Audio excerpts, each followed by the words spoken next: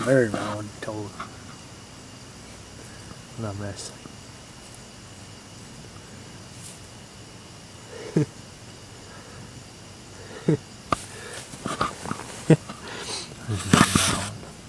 Not mess. What do you do? There. You're gonna pop one of them things and it's gonna taste icky.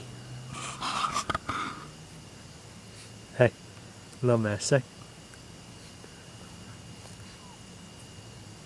Let me sit like that.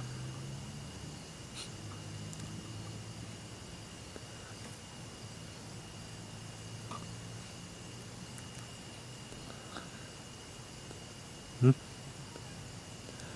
You're gonna eat it. And you're gonna eat it.